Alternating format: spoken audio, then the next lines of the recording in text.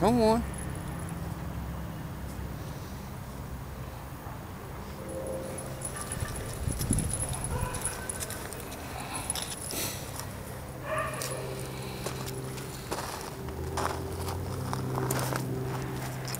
Hey, one time's over.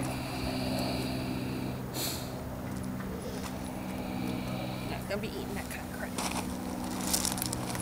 Ow. Okay. Hold.